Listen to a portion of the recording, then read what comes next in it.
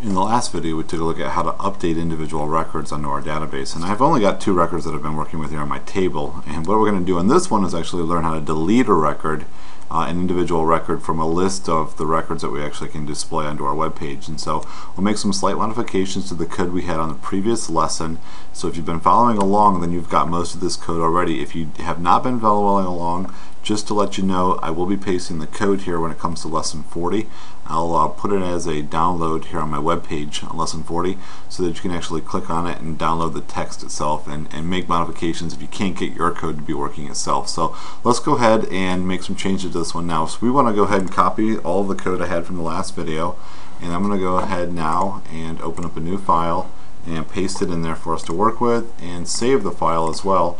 I'm going to go ahead and save it as mydata4.php. and the modifications that I want to make to this particular table are going to allow us to put into it a delete button. And so what I can do is copy the code that I had from the update button on the form that gets displayed for every record. I'm going to go ahead and copy that. And then underneath that, I'm going to go ahead and paste it. And the changes that I want to make, instead of the name being update, I'm going to go ahead and change the name to delete and then the value I'm going to go ahead and change the value to delete. And now I noticed the one thing here and um, I didn't have in my last video I'm not sure what I did with the uh, closing table row but I had the opening table row here on line 30 and I do not have a closing table row at the end of my row so I'm going to go ahead and echo in just for aesthetics. Uh, it'll make the buttons I think change a little bit in the way that they appear um, for each one of the rows. A closing TR tag. There we go and I've got that in there now. So it's going to end that table row and start another row uh, once, once the code repeats in its um, in the while loop that I have here. So I've got the row I've got my delete button added in here. So now that the delete button shows up let's go ahead and make some code run in the event that the delete button actually runs itself. So I'm going to come up here to the top and I had this isset um, under this if statement. I had the isset function running which was going to allow us if the update button ran now we've got the option for it to run here in the delete.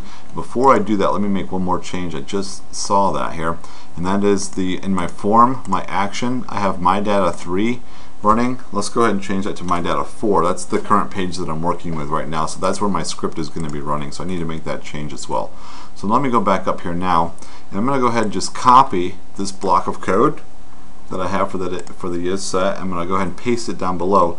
And we're going to use it for, instead of it checking for the update now, I'm going to go ahead and make that one check for the, the delete. And I spell delete under the name of that button as all lowercase. And so I'm going to keep that one as lowercase. The query that I have here, I'm going to go ahead and do a new query. So I'm going to go ahead and delete that. And let's scroll back over here my text. There we go. So let's go ahead and call this one, instead of update query, I'm going to call it delete query. And we're going to go ahead and set that equal to. Now the command that I want to have for the delete query is, is quite simple. It's just the word delete. So I'll go ahead and put in delete. And we need to tell it from, from which table. So I'm going to say delete from. My table's name is lectures. And then we're going to go ahead and say where. Now this is why it was important for us to have that hidden field like we did in the last video is because if we somehow were just typing somewhere a little bit different and we change that value it can always use the hidden value itself. And so actually the end of this statement where we have the word where is going to be identical to what we saw on the previous one. So I can actually just copy that whole last bit of code there where topic, which was going to be set as my primary key if you remember from the last video, that's the field that's going to be unique. Every record will have a unique one of these topics where it equals the hidden value that I had here from the last video as well. So that's going to be my code that I want to execute whenever I hit the delete button. It's going to check to see if the delete button's been pressed. If it has, it's going to run this query. One last thing I need to do is instead of MySQL query update being run here, are going to make it run the delete one that we just created. So let's go ahead and do delete. There we go. And now everything has been set. Now it's ready for us to try. So I'm going to go ahead and save my page. And it, like I said before, if you do not have the code, check on lesson number 40 because I'll have the updated code up through lesson 40 on that particular uh, lesson itself on my website, lecturesnippets.com, if you want to download that if you're having any kind of errors with the code that we have here. So let's go ahead now and check the code and I'm going to go ahead into my index and refresh that. There we go. My data 4 is the page that we just created. So I'm going to go ahead and open that up and you can see that I've got the two records we've been working with.